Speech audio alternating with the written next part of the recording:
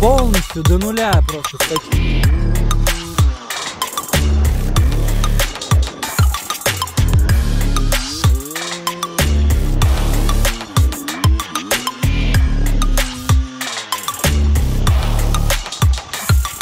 Привет, ребят! Мы сегодня в городе Салават, Республика Башкортостан, на гонке Зирганьяк.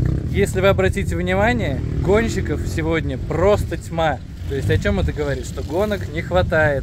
А здесь гонка прям неплохая. Несмотря на то, что это просто не распиаренная местечковая гонка, грубо говоря, Народу здесь просто хоть отбавляй. Трек здесь довольно сложный из-за того, что вся гора, вот эта вся огромная гора, это просто куча гравии, поэтому нужно уметь ездить вот эти гравийные подъемы. Ну, чтобы вы понимали, это так, разминочный подъем.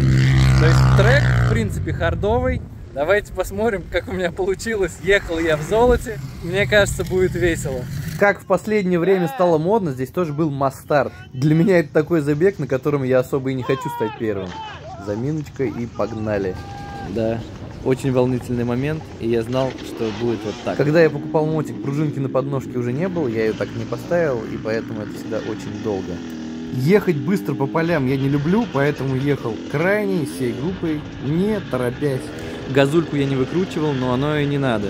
Трек очень сбалансированный, вначале сразу нет жести, а есть вот такие вот разминочные подъемы, спуски. Почему-то Insta 360 вначале прям сошла с ума, начала вот так трясти. Стабилизация отказала, в общем Insta 360 не такая простая в управлении, как кажется. Разминочный холм достаточно интересный, то есть спуски здесь крутые, то есть я даже не сразу вылетаю вниз. Технология простая, встал и оттянулся назад, все, и полетел. Первое интересное упражнение – это стадион, эндуро-стадион, который я просто ненавижу. Я, естественно, застал ехать по этому бревну, думал по покрышкам срежу, но не получилось. Здесь все просто, практически все едется в оттяжке, то есть когда залетаешь, поднимаешь нос, оттягиваешься, стараешься через препятствие перекинуть нос, а дальше уже проедется как угодно. Здесь тоже в оттяжечке, оттягиваемся назад и все, и едем на ногах. То есть все элементы проходят практически идентично. Оттянулся назад, поднял нос – в конце можно ногой чуть оттолкнуться. На препятствие мы можем поставить только одну ногу, вторая обязательно на подножке, чтобы загружать подвеску. Довольно сложный для меня элемент, веер, то есть нужно пройти бревна так, чтобы не остановиться. А я вот боюсь косых бревен, поэтому не хочу падать и вот так вот туплю. Вон товарищ сбоку без проблем пролетает, просто не напрягаясь. В итоге я встал на ноги, все пошло нормально. Здесь очень интересное препятствие. Нужно сначала вниз, а потом резко вверх и закинуть нос на брус. Для меня стадион вообще сложная тема. Это вообще единственный нормальный стадион, который я ездил. И его же тренировал только на гонках. Ну и опять нос вверх, перекинул переднюю часть и погнал. Крайний тренировочный подъем лупить на таких надо прям в отсечку, и тогда ты просто залетаешь по накатанной вообще без напряга. Опять разминочный спуск, все здесь просто, плавненько, в оттяжечке спускаемся, не торопимся. Чтобы не сорвало заднее колесо. Дальше трек тоже перемещается в новую небольшую тренировочную локацию, где несколько простых легких подъемов. Ну, мне так вначале показалось. А когда я уже открыл газ, понял, что подъем не такой легкий, как кажется. Он очень неровный, еще ветки в глаза лезут, и в итоге я даже не смог объехать пацанов и летел очень долго вниз. Кажется, что это просто я скатился, на самом деле просто кубарем и ждал, что сейчас еще по спине прилетит мотик. Как уже видно отсюда, я летел немало, метров пять. Мотик мы стаскиваем только вот так, как я, за заднее колесо, за переднее, туда-сюда кантуем и аккуратненько поднимаем. Я пошел на второй круг, второй раз я тоже не смог заехать, оказалась вот эта ветка в глаза и все. Третья попытка. Едем мы вот таким рваным газом потихонечку, потихонечку, и главное его не бросать, то есть до последнего газовать рваным газом, рывками, чтобы мотик тебя выпинул наверх. Вот я почти на дыбы поднялся, и когда падал, я его сделал так, чтобы он не упал на меня, а остановился. Все, подъем побежден, я там потерял минут 10, Хотя подъем на самом деле очень-очень лайтовый. Дальше мы минут 10 лупили по вот таким вот овражкам, дорожкам. То есть, в принципе, ничего интересного, но разминка была хорошая. Если бы не моя порванная связка, я бы даже кайфовал от этих моментов. Но кто давно со мной знаком, следит за моим каналом, знает, что у меня на правой руке надрыв связок, и я два года уже не могу сгибать руку. То есть, у меня просто колоссальная боль, и поэтому этот кантри-кросс это вообще жесть. Какой-то райдер передо мной тут фигачит, быстро, я его даже догнать не могу, да я и не пытаюсь. Я прекрасно знаю, что когда только начнется hard, он повиснет. Сто процентов. Это уже проверено не раз. Так, ну давайте считать до трех, ждать момента. А, ну вот, вот он момент. Все, как только открылся газ, как только появился подъем, бревна, все, многие просто не могут это преодолеть, потому что не умеют. По лесам фигачить, как говорится, не мотик по скалам таскать. Ну и вот то, что я прям обожаю. Наконец-то открылся газ на второй скорости, куда-то вверх, фигачим. Я немного в оттяжке, спуски, подъемы, все в общем. На самом деле вам повезло, что вы видите эти кадры, потому что камеру я пытался выключить еще минут 10 назад, но она не выключилась и засняла интересные подъемчики, которые дальше, в принципе, я заснять уже не смог. Это такой интересный протяжный хард на скоростях, то есть, в принципе, очень легко, деревья, бревна, подъемы, спуски, просто такая техничная езда в стойке. Вот эти косые бревна очень мне нравятся, надо их уметь переезжать, перемещать центр тяжести, чтобы не упасть, не скользнуть, чтобы не скользнуло заднее колесо. В общем, просто фигачилово. Это вот я очень люблю, когда это вверх на таких полудыбах с разворотами, с поворотами, с перестановками. На самом деле это вот как раз простые моменты хард эндуро, которые доставляют, ну, такое удовольствие. Здесь все просто, я перенес центр тяжести назад, то есть еду практически на крыле и потихонечку из-за этого у меня переставляется переднее колесо туда, куда надо, то есть оно становится легче. Вот опять новый подъем. В принципе, здесь просто открываемся, чем больше газа, тем выше вы заедете, тем легче вам будет проехать. То есть импульс, который вы даете перед сложным местом, будь то это бревно, корень или еще что-то, то есть вы сможете это проскочить, если у вас будет начальный импульс, который вы дадите до этого препятствия, а не копая корень или бревно или камень уже по месту. Так, ну вот она, развилочка долгожданная, что-то написано прямо, а оказывается нифига не прямо. Я заметил, вон там справа наши стрелочки были и, в принципе, долбанул по стрелочкам. Разметка была очень неплохая, несмотря на то, что гонка это не какая-то титулованная, просто ребята сами на своем энтузиазме сделали крутую гонку. Наконец-то подъезжаем к следующему хардовому моменту. Управлять мотиком толком я уже к этому моменту не мог, потому что мои руки превратились в два кола просто зафиксировались, я ни влево, ни вправо, чисто весом контролировал мотоцикл. Давайте поставьте паузу и накидайте идеи, что могло произойти, почему у меня так забились руки. Ответ будет через буквально 2 секунды. Блин, гребаные эти.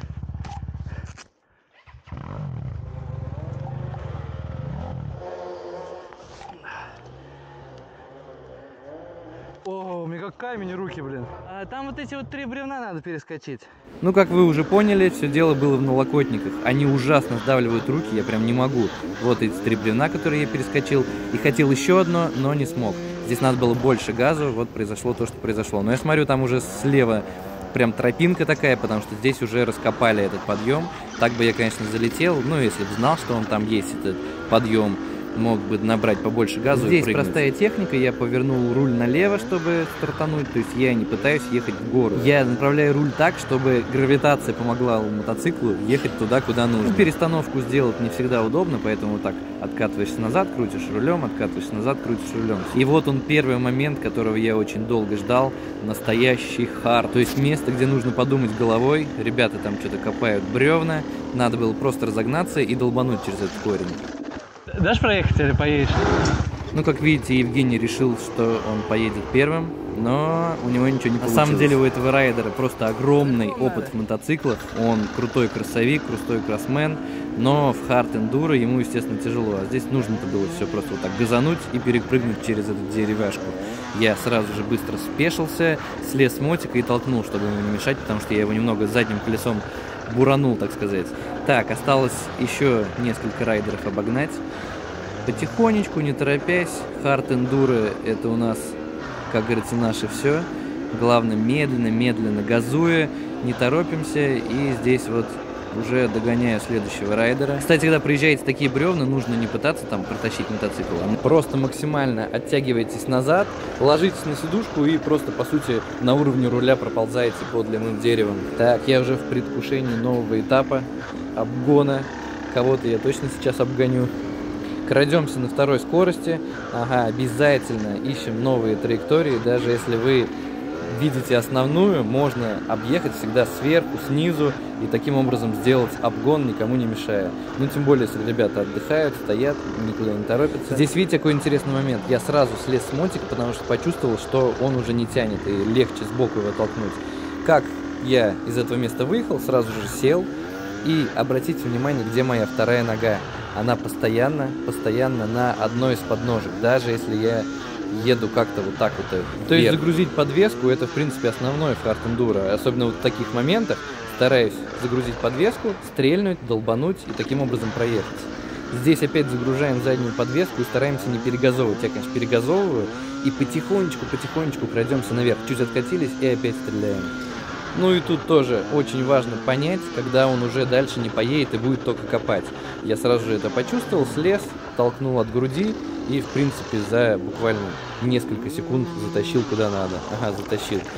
Когда вот так резко появляется зацеп, ты сразу понимаешь, что бы могло быть, если бы ты правильно расположил центр тяжести и запрыгнул на мотик сверху и залетел просто выше, но вместе с мотиком. Ну, то есть, когда вот эти движения о том, что, блин, зацепа нет, мотик не едет, а потом он курвит на ровном месте, это к тому, что зацеп есть. Просто им нужно правильно пользоваться и ловить моменты, когда он появился, на него нужно залезть, успеть и заскочить на препятствие.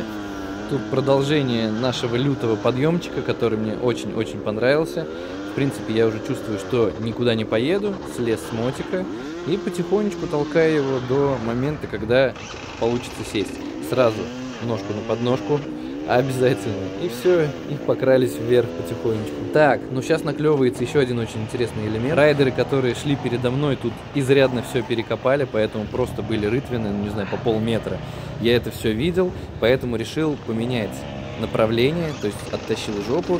Буду пробовать ехать по целине, но не все так просто, потому что мотик скатывается обратно в лужу, в яму, в накатанку и ничего не происходит, ничего не помогает. Ну, в итоге вот так газуя и толкая мотик, я все-таки выскочил с этого подъема. И буквально через 10 минут мы нарвались уже на следующий такой же подъем. Начало я не заснял, а конец хардовую часть, где была самая жесть, и ребята даже, которые за мной ехали, объехали этот момент.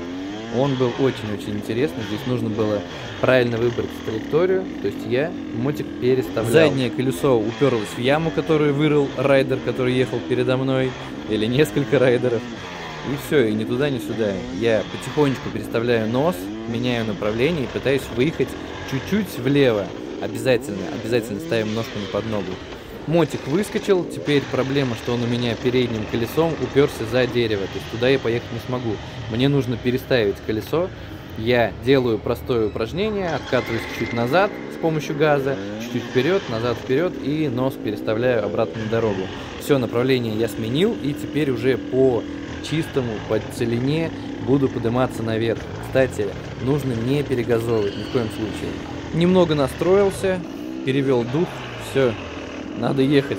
Обязательно загружаем подножку одной ногой. Вторую я обычно использую для опоры, потому что ехать на двух ногах в таком жестком рельефе невозможно. Все потихонечку, рывками, рывками. Если немного тронулся, едешь вперед. Если не получилось, немного откатываешься назад и опять вверх. Все, выскочил, а здесь ленты кончились. Здесь мне пришлось сделать очень большую петлю, потому что я выезжаю, а лент нету и стрелка вроде налево. Я налево и уехал. А оказалось, нужно было направо. В общем, покатался и вернулся обратно. Вот, кстати, интересный момент. Бревно косое, жопу, естественно, занесло. И ничего с этим не сделаешь. Нужно переводить центр тяжести, но не всегда это происходит удачно. Но, видите, здесь уже получилось, потому что была больше скорость, э, легче ехал без напряга. Вот он, видите, езда. Езда, когда ты поднимаешь переднее колесо, разгружаешь, и оно становится очень-очень легким, из-за этого маневренность повышается. Ну, по сути, как будто ты на заднем колесе едешь, хотя такого и не происходит по факту. Это тот подъем, который как раз делает эту гонку кайфовой, то есть тут таких подъемов было штук 10-15, просто потихонечку на заднем колесе, не торопясь, едешь куда-то вверх. Вон идет срез для серебра, а наш подъем еще лютее, чем здесь. Он идет у нас направо. Вон, видите, стрелочка. Я прям, когда вижу такие стрелочки, аж кайфовать начинаю. Прям в предвкушении. Кстати говоря, э, обычно нужно посильнее открывать газ, но как бы сил уже не было, и поэтому газ не открывался так, как надо. Но было очень-очень прикольно.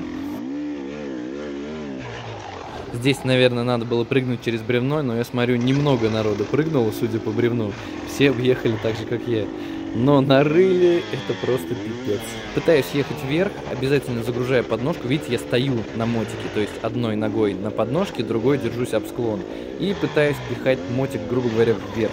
И сейчас будет опять тот самый момент, когда можно было бы сработать телом и поймать этот момент как зацепа, но получилось так, как получилось.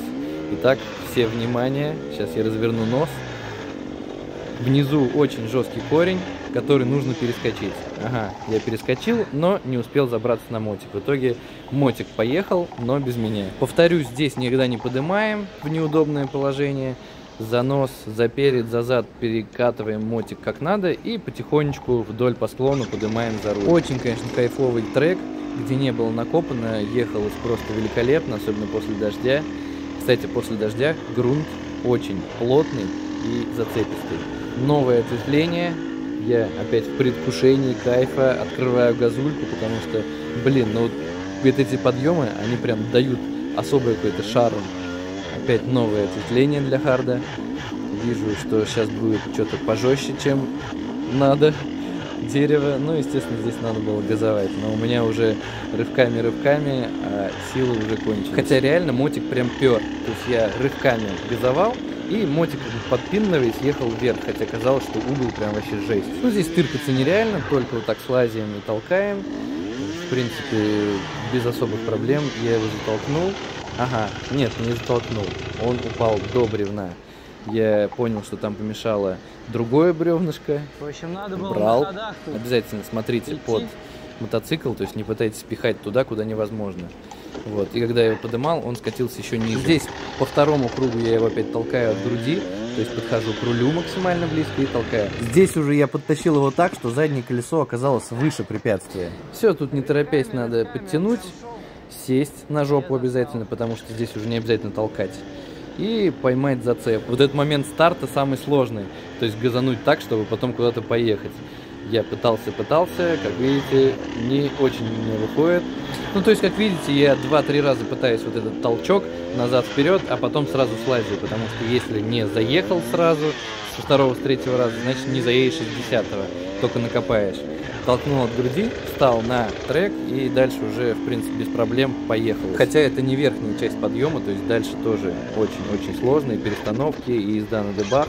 И вот откатываюсь, откатываюсь назад, газую. В общем, не всегда это получается, но иногда чувствуешь, что это получится в итоге, а иногда чувствуешь, что лучше слезть. Кстати, езда в траверсе тоже очень интересный элемент. Ты сидишь практически на ляжке, а не на попе.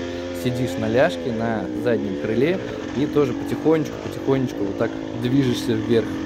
Кстати говоря, здесь мы выехали обратно на общий трек и поехали траверсы. И очень неплохо выстроен трек, то есть он разнообразный.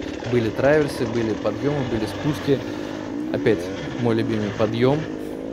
Под бревном я вас уже учил кататься. Ложитесь на сидушку, оттягивайтесь назад и погнали. Выезжаем на смотровую. Очень понравилось, что были и даже смотровые вещи, хотя это не прям огромные какие-то горы, но было на что посмотреть во время езды. То есть поднимаешься и такой вид красивый открывается. Прям очень-очень красиво. Как вы можете обратить внимание, у меня нога одна постоянно на подножке. То есть это, в принципе, правило езды везде и всегда. Здесь вдоль склона очень цепучая гора, кажется, что сложно, но на самом деле фигня. Э, спускаться, кстати, в такие моменты не так просто. Я еще в начале гонки сломал задний тормоз, и у меня просто, ну, была палка вместо тормоза, не было никакой педали. И поэтому я вот так осторожно-осторожно, хотя ребята, скорее всего, прям туда вниз нырнули. Ну, этот подъем, я думаю, вы все уже видели в шорцах. Очень интересный, то есть это прям стена, стена из цепучки, на которую нужно было стрельнуть, открываешь газ на полную и едешь докуда получится. На самом деле колея там нарыта нехилая. Я выбрал момент, где можно перейти в траверсу и в траверсе, естественно, подняться такой подъем не особо сложно. Главное соблюдать баланс тяги, чтобы жопу не стягивало вниз.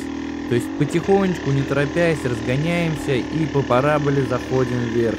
Увеличиваем угол, когда уже он не увеличивается, естественно, нужно делать просто перестановочки. Перестановки делаются на большом углу очень-очень часто, то есть не стесняемся, постоянно развернулись, стрельнули, развернулись, стрельнули. Ну, здесь стандартный пример, когда не получается выехать, ты просто откатываешься и газуешь, откатываешься и газуешь. Здесь, в принципе, несмотря на то, что подъем очень крутой, мотик постоянно пер, то есть одна перестановка на таком серьезном подъеме, это, ну, в принципе, фигня. Ну все, треки золота и серебра, так сказать, воссоединились, красота несусветная, справа большой обрыв, слева тоже обрыв. Ну и опять захотелось снять эту красоту, которая была слева. Это было на заключительном части горного отрезка. И в принципе гонка уже заканчивалась. Внизу несколько небольших переездов через речки, э, через спуски и все, финиш. Поэтому можно сказать, что мы близимся Это к концу. был один из самых последних сложных подъемов, прыжки через бревна, все стандартно по расщелине едем. То есть, когда вы делаете треки, обращайте внимание на расщелины. В них обычно максимально весело. Я думаю, значительно повеселее, чем мой голос в этом видео. Но я просто уже устал, конец гонки, сами понимаете. И моя усталость отражается вот в таком невзрачном падении. То есть я должен был просто рывками открываться, открываться, и в момент прыжка через эти ветки нормально оттянуться и сигануть. Но я сделал какую-то фигню. Очередной шикарный подъем не торопясь, потихонечку загрузил заднее колесо своей попой и на легком руле, то есть руль у меня прям свободно вращается, видите, вертится, и я просто потихонечку крадусь наверх. Это на самом деле очень приятно, кайфово и ощущение ну, какого-то такого полудрифта, полу, не знаю, но очень-очень интересное ощущение, за это я и люблю Hard Enduro. Даже жалко, что это был один из последних подъемов, потому что в таком режиме я покатался еще часа два спокойно, то есть я в принципе здесь уже не уставал, я здесь просто тупо кайфовал. И это было последнее включение с самого трека. Блин, ну трек для местечковой гонки прям огонь, то есть постоянно были подъемы, постоянно были спуски, и на подъемах правильные бревна, то есть ехать было непросто и этот гравий. Просто это огромная гора гравия. Это жесть. Постоянно третью в пол. Трек бомба. Зерганьяк, обязательно приезжайте в следующем году. Чтобы вы понимали, насколько был гравийный, сложный трек. Вот, посмотрите на резину. Полностью до нуля просто сточилось. Не знаю, корда осталась, но уже хорошо. да? в отсечку ходить, чтобы резину... В общем, в отсечку. Весь трек в отсечку, ребят. Рахимов, Радик! Мой батя, класс железа, первое место. Спасибо, Роберт. Первое место. Казаков Алексей! Все, ребят, я вроде даже пятый. Не сказать, что было сильно сложно. Один товарищ непонятно, как меня обогнал. Я ему за это предъявил. Он сказал, все по треку, все по треку. В общем, гонка была очень интересно. Постоянно надо было ехать на дебах, перестановки, перестановки, то есть легкого вообще не было ни одну секунду. Было прям круто. В следующем году всем советую приезжать. Пацаны прям очень ответственно относятся к организации. Самое главное, они понимают, что есть хардовики, которым нужно посложнее. Они говорят, куда мы заехать не смогли? О, подъем золота. В общем, красавчики-организаторы. Всем советую. Так, давайте посчитаем потери после гонки. У меня ножка тормоза. Пока везли вот это вот лопнули, представляете? Вот здесь вот и ножку отломали, пружинка вылетела и вот здесь сломалась. А, ну еще я гарду вырвал, когда я грузил.